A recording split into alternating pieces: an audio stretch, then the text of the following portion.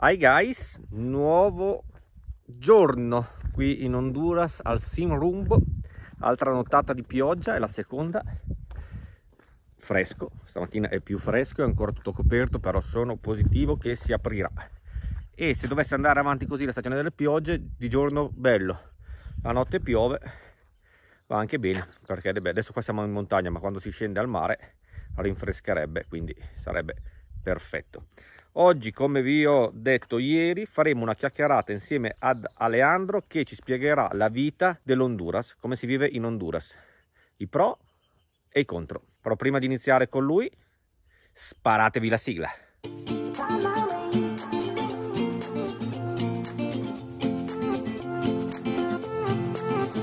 A new place, a new home, for a while, let me feel alive. Eccoci qua, guys sin rumbo con un caffessito io una cioccolata calda sono qua con Aleandro che aiuta Raul in mm-hmm. questo bellissimo progetto ma come vi ho preannunciato ieri e all'inizio del video con lui voglio parlare di Honduras e non del progetto che parleremo poi la settimana prossima con Raul. Per, per iniziare... Tutto bene. Tutto bene. Tutto bene. Ah, lui conosce qualche parola in italiano, eh? poi mi chiede ogni tanto. Okay. Puoi introdurre la tua persona, chi sei, dove sei nato, quando sei nato... E en general. Ok, bueno, eh, gracias Fabricio por la, por la, invitación, ¿verdad? Toda tu audiencia. Mi nombre es Alejandro, eh, como tú ya lo mencionaba, ya tenemos un par de años de estar colaborando a nivel gerencial aquí en Sin Rumbo con, con Raúl, que pronto también lo van a, a conocer, un emprendedor, hablando un poquito del negocio. Eh, pues, ¿qué te digo? Tengo actualmente 38 años, resido en la capital, en la ciudad de Tegucigalpa nativo de esta zona aquí, de Valle de Ángeles, y orgulloso de pertenecer también acá a Sin Rumbo. Allora, praticamente lui eh, è nato qua in, eh, alla capitale, in questa zona della Valle d'Agnes, uh-huh. ha 38 anni, si chiama Leandro, come abbiamo detto all'inizio, ed è due anni che collabora insieme a Raúl al progetto Sirom. Sì, corretto, así es. Bueno, eh, en la parte gerencial, como te decía, ya tres años de estar trabajando en este proyecto, totalmente diferente a lo convencional o a los trabajos normales en, en ciudad. Estuvimos la oportunidad de hablar también eh, días atrás contigo acerca de la situación de empleo y de otras situaciones que están ocurriendo aquí en Honduras, eh, que a mi particular opinión hay mucha oportunidad, esto puede suele pasar, ¿no? Sí, claro, sí, puede pasar, pero no pasa nada. Entonces, eh, como te decía, pues total tema distinto en el trabajo que se vive aquí en una montaña, mucho más tranquilo, donde la calidad de vida también va bien. Esto suele pasar. Suele pasar, voy a bajarle volumen a esto. Mil disculpas a todos. Ok, entonces em, es una oportunidad única la que se vive acá porque aprendes a desarrollar mucho la capacidad de asombro, la calidad de la vida aumenta en sí. Y te diré que la calidad de vida, a pesar de que em, las situaciones políticas o algunas situaciones no están bien en el país, pero el hondureño ha aprendido a saberle encontrar el lado bonito al, al, a, a, las situaciones difíciles, ¿verdad? Creo que está pasando. Entonces, te podría decir que es, es, es un honor, va a seguir siendo un honor ser hondureño. Me siento muy orgulloso de mi patria, ¿verdad? A la cual amo y he podido también conocer eh, en muchos departamentos, a la gente y en muchos sentidos. Allora, praticamente, dopo averci detto che lui è nato e cresciuto in questa area, da qualche anno che sta collaborando con Raul ha cambiato completamente la sua vita, iniziando dal lavoro, prima lui faceva una cosa completamente diversa e ha iniziato a eh, aumentare la qualità della vita.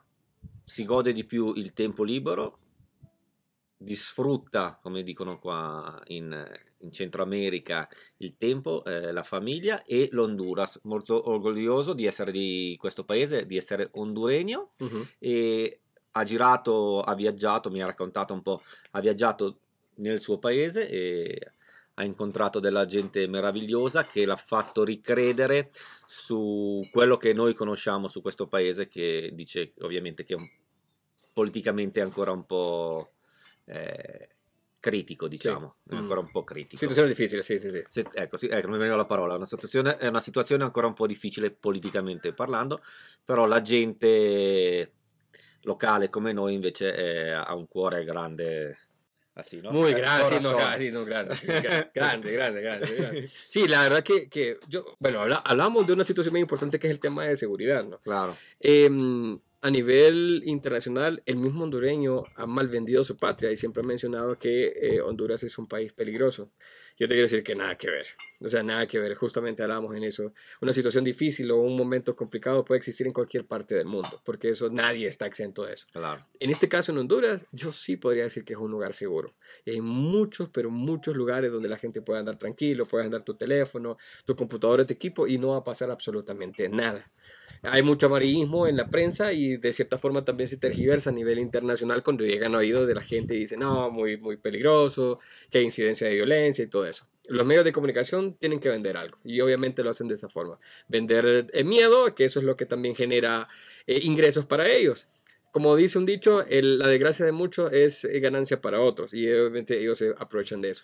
La disgrazia di tanti e la ricchezza di altri. ¿Te gusta? Eh? Sì, sì bueno, bueno. Bueno. praticamente, vado a spiegare, praticamente lui si è collegato subito a questa situazione particolare dicendo che il paese viene venduto male fuori dai confini, venduto come un paese pericoloso ma lui dice che non è pericoloso, ci sono tantissimi posti dove si può andare tranquilli col telefono in mano, con la computadora, con eh, la macchina fotografica, che niente va a succedere. Ovviamente, come in tutte le parti del mondo, compresa l'Italia da noi nelle grandi città, può succedere qualche cosa di microcriminalità, ma dice ovviamente che i giornali devono vendere, devono vendere le notizie e le più appetibili sono le brutte notizie, le cose brutte che accadono nel giornaliero. Infatti tutti i telegiornali, anche in Italia, nel 90% raccontano di brutte cose, guerra, pandemia, sì, sì. tutte le cose che sappiamo uh-huh. e una piccola parte di belle cose. Entonces sí, es lo que, lo que ellos necesitan vender. Y eso hace contrapeso a lo que es la realidad de Honduras, o sea, totalmente realidad. Vamos a ver, Occidente, Oriente, Norte, sur, en cualquier parte del país vas a encontrar algo que tenga que ver con riqueza natural, que es lo que Honduras tiene a montones.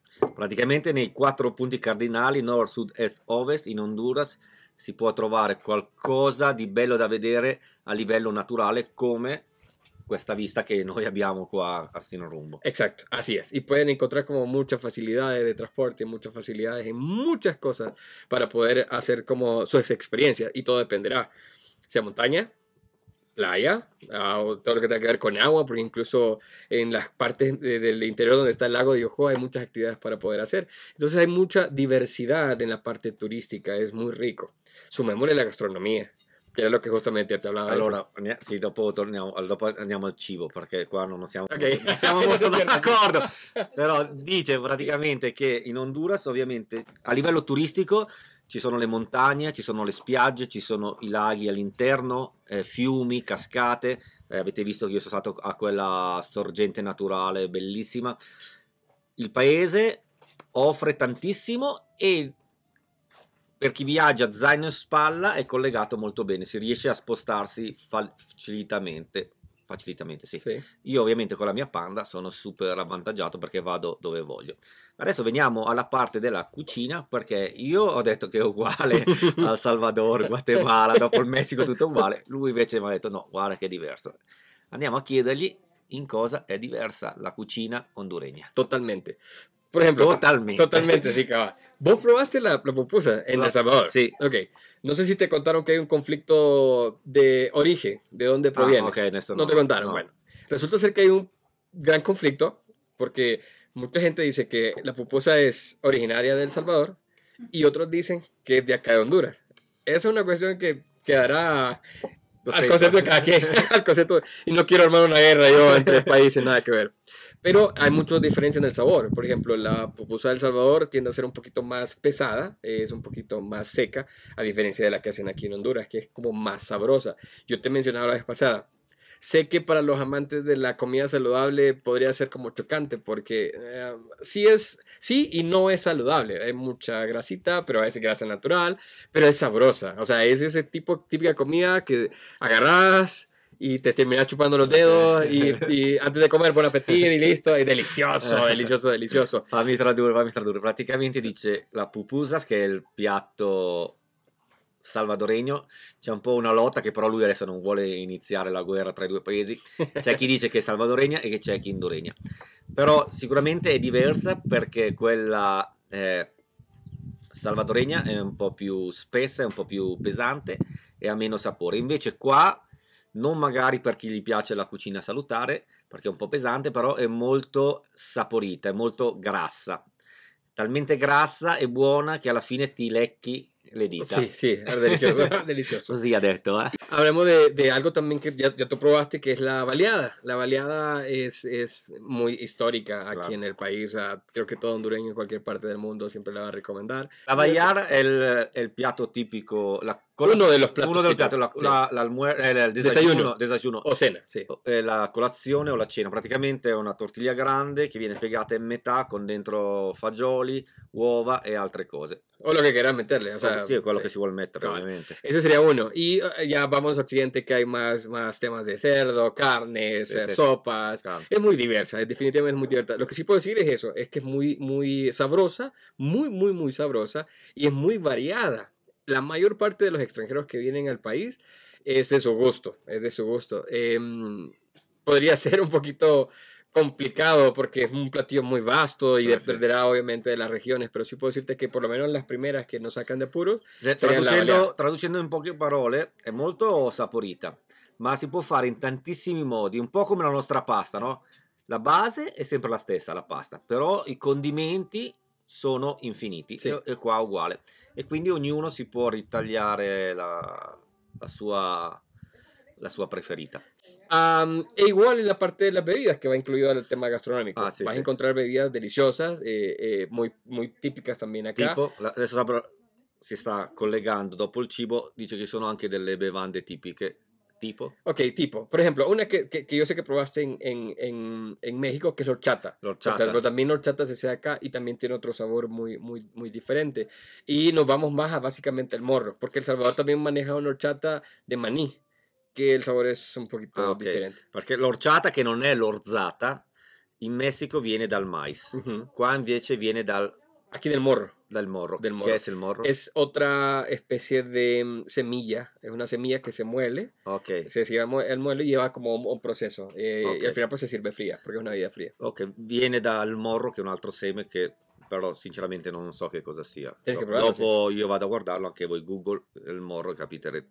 Magari c'è anche in Italia, però non so. Te voy a traer entonces, mañana Ah, te voy a traer ok. para que la pruebes. Me voy a comprometer con vos Ok. para eso. Y ya luego pues entre jugos naturales y otro tipo de bebidas que pueden hacer como el atolchuco, por ejemplo, que ese sí proviene del maíz y es una bebida caliente. Ah, ok. el, el- el saborcito a, veces son, son, son fuertes, porque si se maneja una, un, un sabor muy fuerte, podría ser de tu gusto como no podría ser, pero sí es una bebida muy, muy, muy típica. Questo si chiama?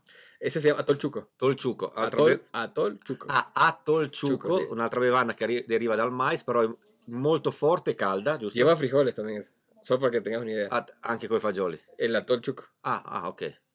Anche dai Sì, sì, fagioli.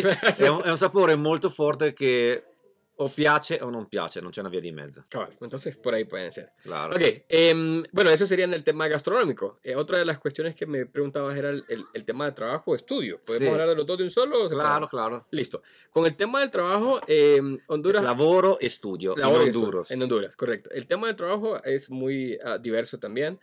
Em, a pesar de que, de que hay, hay oportunidades de empleo, la situación salarial pues sí no es tan, no está tan en, en buena posición, ¿verdad? Las situaciones políticas que ha tenido el país actualmente han hecho que a pesar de que las personas tengan una muy buena cantidad de ingresos, la canasta esté un poquito más alta y eso haga que la plata de repente no- Quanto è?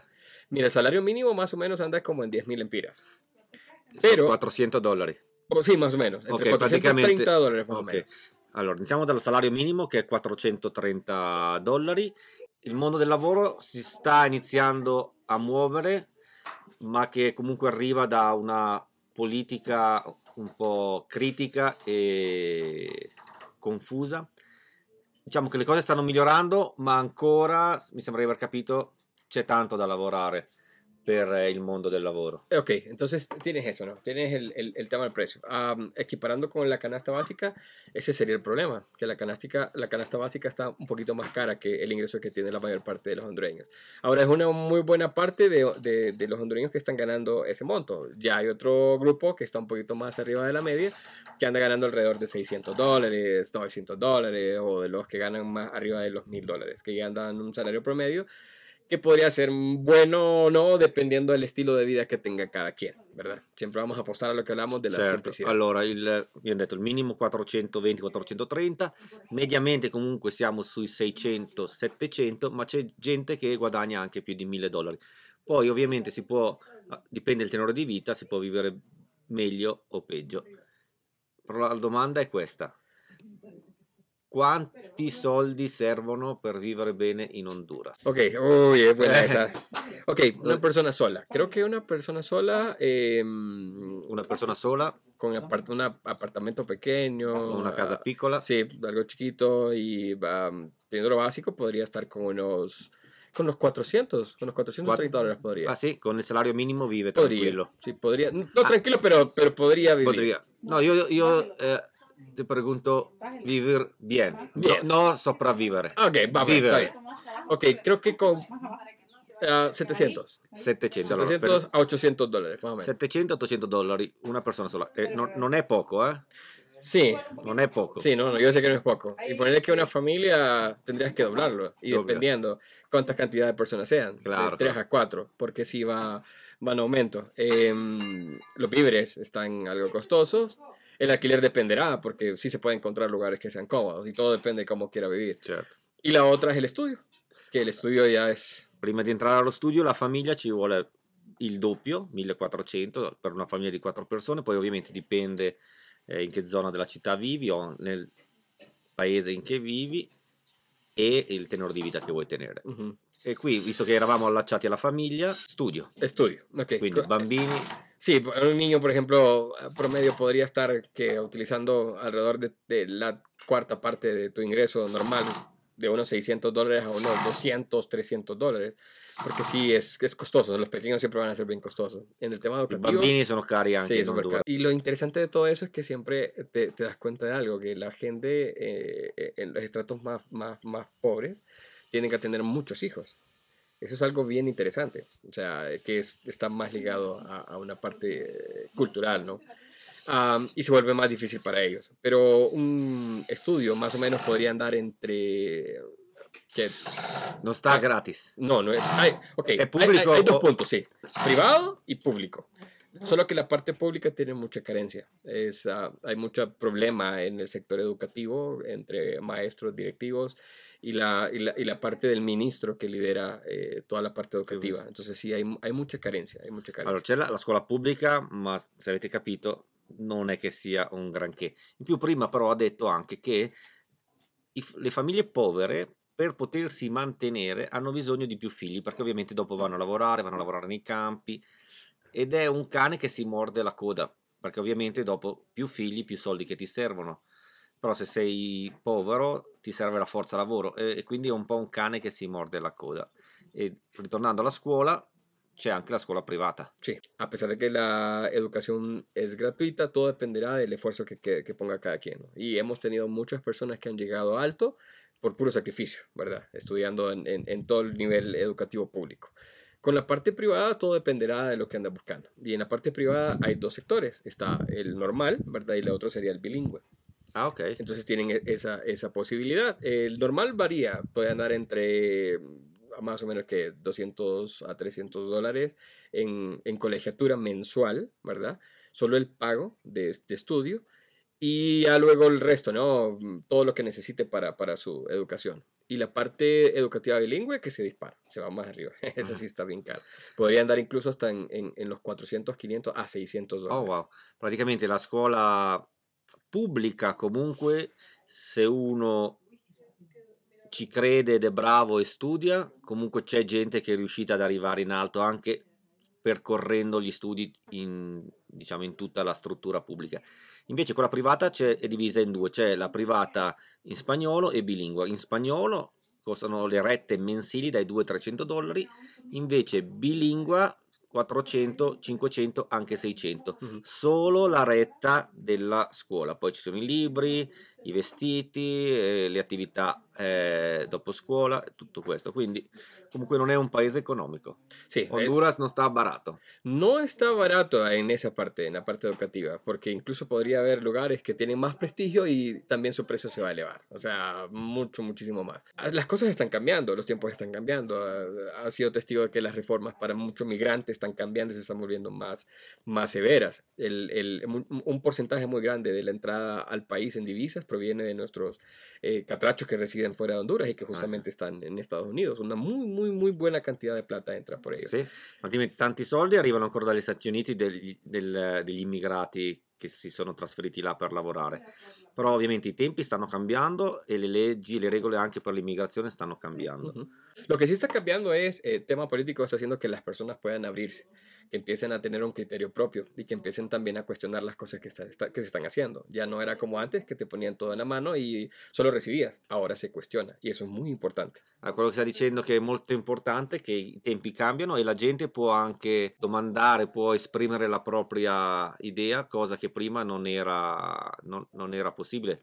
Ti davano in mano un pacchetto e quello era, non è che potevi confrontarti, lamentarti o fare qualcosa, quello era appunto. Invece adesso la gente è più libera di pensare e parlare. Sí, Per chiudere, ha detto che ovviamente gli honduregni hanno, oltre il cuore grande che ho detto io, hanno anche una grande forza interiore e sono versatili per cercare sempre di cambiare e migliorarsi. Sono sempre disponibili con la gente, sia eh, locale ma anche gli stranieri. Infatti ci sono tanti stranieri che vengono qua eh, in Honduras e poi si fermano. como extranjero creo que es una buena opción. La plata en la conversión a moneda puede ser mucho más rentable para que una persona venga, resida acá e incluso decida invertir. Yo hablaba acerca de eso contigo, que las posibilidades de un extranjero para poder invertir en realidad no son, no son ah, altas, ¿verdad? Son alcanzables. Y la calidad de vida entonces puede mejorar, porque si la plata rinde más. El dólar acá rinde Claro. más. praticamente dice che se si vuole investire in Honduras è sicuro e il dollaro o nel nostro caso l'euro qua può valere molto di più e può rendere molto di più. Quindi venite tutti in Honduras. Sale muy bien. Perfetto Alejandro, muchas gracias Fabrizio, di tutto questa bene. chiacchierata. Tutto bene, tutto bene. Vediamo domani. ¿Verdad? See you ¿Vamos a tomar tomorrow. cafecito? Sí. Eh, io ho finito. Ah, ya, ya. Sì. Eh, vamos a ver más entonces, sí, vamos a ver más. Cioccolata. Ah, no, ne ho ancora un po'. Sí, cafecito. Ora sta fria però. sí, estaba caliente. Grazie.